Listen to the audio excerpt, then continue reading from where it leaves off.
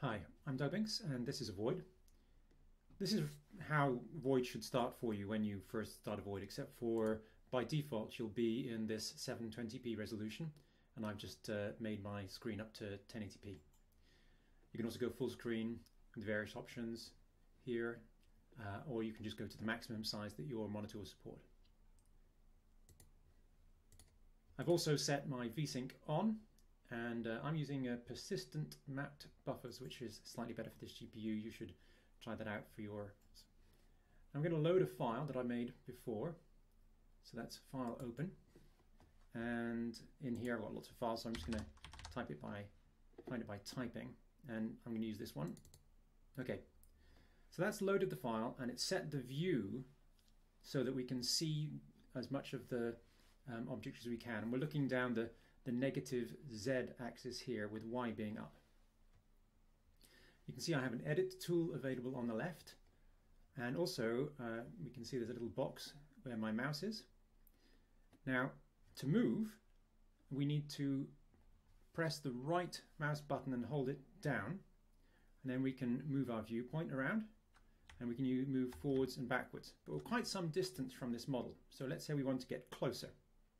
What I can do here is I can right click and select move camera here and I'm right clicking over an object. So for example I right click and move camera here on this red object. I move towards it and I can do the same to this pyramid over here and I'm next to that one. So now we can see the movement more clearly. And I'm using W S D and A the typical um, first person controls for moving around. And I can also use space to go up and shift and all of the movements makes me go faster and control for down. Okay, we've set the view at the moment to 120 degrees. This is the default view, gives quite a nice wide angle view. But if you wanted to have a different option, you can go to the camera and here I'm going to set my field of view and I'm going to set that to, to 90 degrees.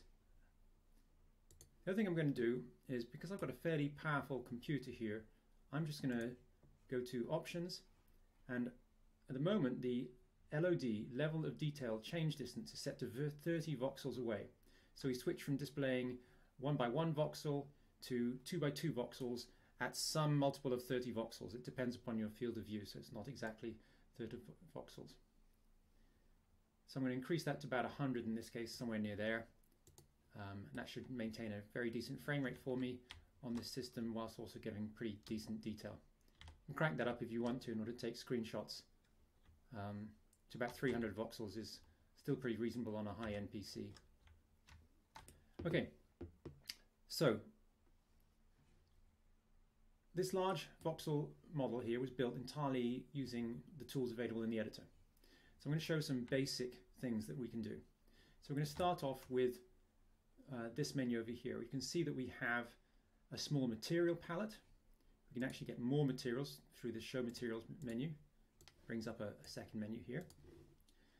Um, and this little material palette here was made um, so that we can get a, a, decent set of materials. So we have some basic uh, um, uh, diffuse colored ones at the top. And here at the bottom we see what are uh, metals and I'll just show you a few of those. So I'm just going to place myself a small square down. So using the right click mouse to move and I'm going to down here and I'm going to set which means build rather than add which means add to. And I'm choosing a box on this drop down which I'm going to choose a cube. So this is a one voxel cube. And there I have put in an amount of 125 and you'll see it's not completely square. And that's because these are constrained morphing voxels. And we have an amount between 0 and 255 those of you who are into computers will realize that means that we're using 8 bits, 256 being the uh, uh, total maximum. And there we have um, the full cube in green and it's pulling up the geometry beneath it because the constraints are that all of the geometry has to basically fit together in the voxel grid. So I can also use add and slowly grow something. So in this case, what I'm going to do is I'm going to choose a, a, the, the green color again. I'm going to add in amounts of uh, 25, let's say. So we do that over here. you can see that I'm gradually building up this block in units of 25. We can also go into continuous mode. Continuous mode allows us to build by holding the mouse down and it'll keep on building. So I'll show you that now. And there we go. Continuous mode can be a bit dangerous um, with large amounts. Well, not dangerous, but it can be a bit tricky to use with large amounts when you're uh, either adding on setting because it will just draw towards you continuously like this. And uh, obviously if you had a greater amount that would happen faster and would become somewhat uncontrollable. Continuous mode is at its best when you're using something like paint, but um, where here you can just paint the ground in this color. And I'm going to move the, um, the tool distance so that it sits further. The tool distance is how far this um, tool will go to um, in the open air. So if I move that to some small number, you'll see that 0 is obviously not a great number. 28 or so, you'll see that that's close by. And we can also use the mouse wheel to scroll this towards us and further away. We have collide on so that it won't go beyond any geometry in this case. So here we can build on the floor and then as we get further away, so I need to use sets to build something to midair. We're building here in the in the air. Okay, small cubes are not that exciting. Let's say we wanted to build something that's uh, uh, more useful, more interesting. Well, the box shape is a pretty interesting shape. Um, and here we can make something like, uh, let's see, I think that's shallow. So here we're making just a, a basic, oh, I'm, using, I'm in continuous mode, so I've actually made several of those, creating a step-like pattern. And the amount's at 255, I'm to set the amount to 255 there and I'm going to choose this grey basic material. So there we've got a, just a, a basic uh, plinth. We have quite a lot of different shapes that you can choose. So for example, um, we have a cylinder and we have a tube. So the tube is quite interesting. It has an orientation axis. Since this is long axis is on the X and the Y, the Z axis, I'm going to choose my axis orientation to be on Z. And there we go, we've got a hollow tube that we can run down. It's not a perfect tube because in Avoyd, these constrained morphing voxels that we use don't make perfectly smooth shapes. Um, but it's smoother than, for instance, the Minecraft style voxels. Okay, so the problem with this um, way of building things, where I have my cursor point being the thing that I'm building, is that it's not as controllable as I might like. You, you can't get exact, precise coordinates of where you want to place something. So what you'll want to do in those cases is use anchoring. I'm turning it on and off there. Um, and what happens is when you anchor something, you now get a control that gives you more precise um, uh, controls over where things are positioned. Um, and you can also type in the location by hand. To type it in, just double click into an entry um, and then type in the number and enter or you can single click down hold and just move left and right to move it around. Okay, now let's say I wasn't anchored and I, I had a nice position but I just wanted to get that position slightly better. So I, let's say I want it here but maybe one voxel to the right. So what I can do there is I can find out where I want to be. So let's say it's this position here. I right click quickly and then this gives us a menu where I can then click on anchor. And here we have the anchor at the position that I have selected. And then we can change the size of that or we can move it around as before. Okay, what about if we want to be looking at an object in order to do some, let's say we wanted to paint over this pyramid. Well, what I want to do here is I want to change my camera to be in the arc ball camera mode.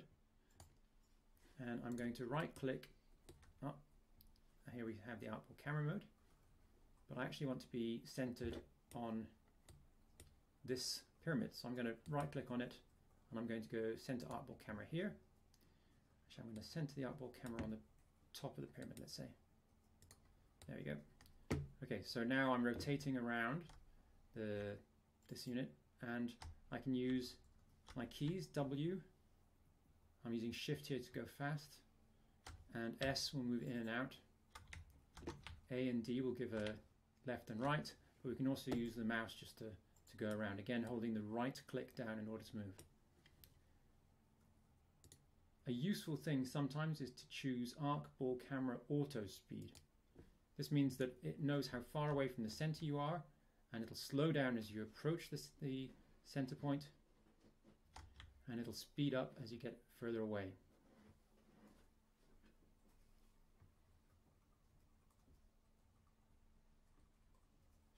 Okay. So those are some of the basic ways that you can make things in Avoyd. But one of the more intriguing aspects is the ability to um, copy and paste. So what I'm going to do show you that is I'm going to use the anchor tool again. I'm going to move the anchor to this point here and it's got set I'm going to set it to being a box shape and I'm going to choose copy. Right so now I need to make this box fit that pyramid and those tentacles. So I'm going to do that by just simply dragging these points out on top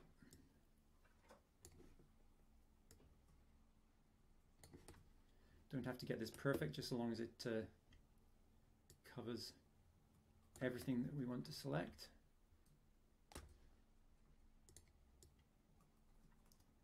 And doesn't intersect with any we don't want. Okay, so that's pretty good. Okay, so now I'm going to basically copy that. And you'll see that we've now created a, uh, a second version of this. It's not lit because it's um, not yet actually placed inside the world. So it's just floating around within here and I can then place this object wherever I want it. So let's say I can place one there. I pressed F to do that, but you can also do do paste click by clicking this. So again, uh, say we want to get over there, I can just click paste there. But we can also um, change the orientation. So Y is up in this case, so it's red, green, blue. Y is up. So if I reflect along Y, now I've got an upside down pyramid. So I could, for example, bring this up and over. Okay, so I'm getting it roughly aligned there.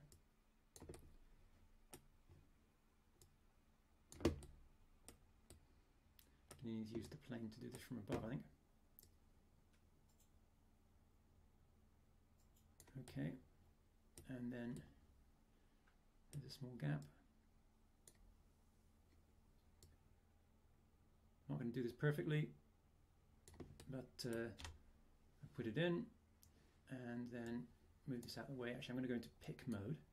Pick mode allows you to pick a given color and uh, Going to move my arc ball camera to be just in the middle there. Okay, and there we have this uh, doubled pyramid inverted around the bottom. So that's a little look at some of the basic things we can do.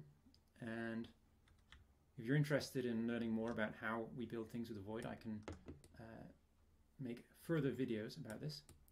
But if, say, you have some other objects, you can import them into Avoyd as well. So, for example, we support importing Vox shapes and also the Minecraft models. So I'll just show you very quickly that. So I'm going to import, first of all, uh, a Vox shape.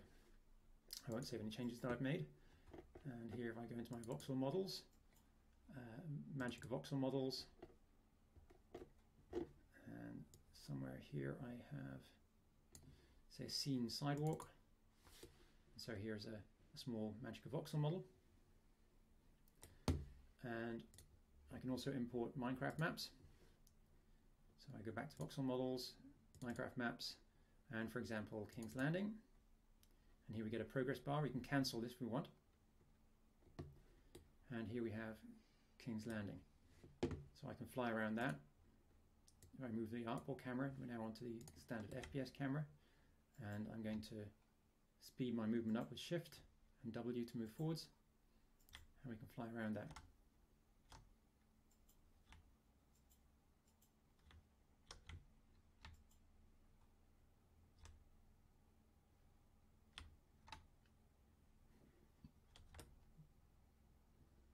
Okay, so that's a, a, brief look at using Avoyd to make models and how you can import Minecraft and Vox models.